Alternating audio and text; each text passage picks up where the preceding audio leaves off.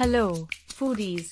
Today, we are delving into the delicious world of Bohra cuisine with a unique and creamy dessert.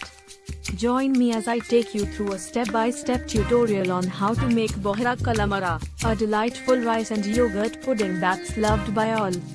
This luscious and comforting dessert is a perfect way to end a meal. Let's get started and bring the taste of Bohra Kalamra to your kitchen.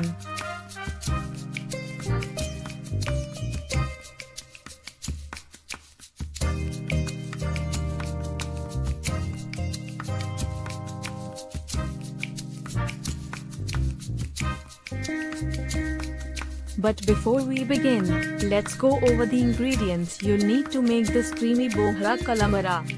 These simple ingredients will help us create a soothing and aromatic dessert that's sure to please your taste buds. For our bohra kalamra, you'll need 200 gram or 1 cup basmati rice, soaked for 2 hours, 3 cups water, 750 milliliters or 3 cups milk, half cup milk powder optional. 275 grams or 1 and 1 quarter cup sugar or to taste. 500 milliliters or 2 and a half cups yogurt. Garnishing. All garnishing is optional. 150 gram khoya mawa or dried evaporated milk solids. Half cup pomegranate seed. Half cup mixed nuts almond pistachio cashew 1 quarter cup raisins, soaked. Few rose petals, washed.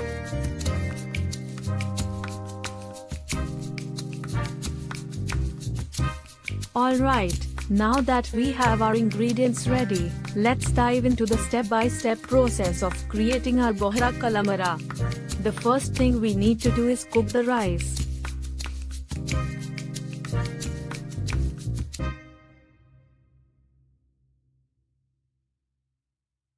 Wash rice and soak in 2 cups water for 2 hours in a thick-bottomed skillet. Or overnight in fridge.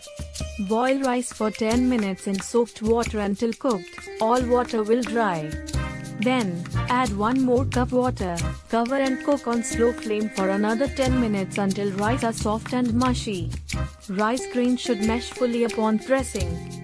So add more or less water as required to get it to that consistency and texture if need be. Add milk, sugar, milk powder and blend the rice with immersion blender.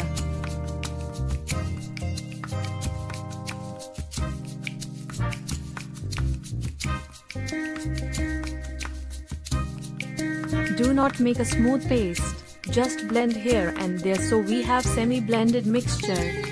Cook for few minutes until thick and then let it cool completely. Meanwhile, blanch almond and slice them. Also chopped other nuts. Now mix whipped yogurt to rice milk mixture. Rice should be cooled completely or yogurt will release water. Add half raisin and khoya dried evaporated milk solids in the kalamra and save rest for garnishing. Garnish with nuts, khoya dried evaporated milk solids, raisin, pomegranate and rose petals. And there you have it. Our soothing and creamy bohra kalamra is now ready to be enjoyed. This comforting dessert is a delightful way to end any meal and is sure to leave everyone wanting more.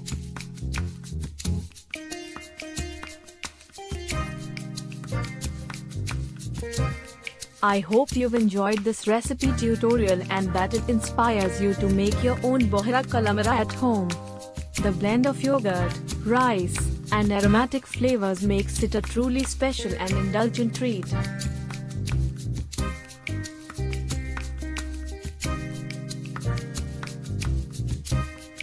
Mmm. The smooth and creamy texture, along with a hint of rose petals, makes this kalamra absolutely divine.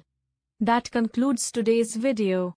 If you loved this Bohra Kalamra recipe, don't forget to give it a thumbs up and subscribe to our channel for more unique and delightful recipes. And as always, let us know in the comments what recipes you'd like to see next. Happy cooking, and I'll see you in the next video.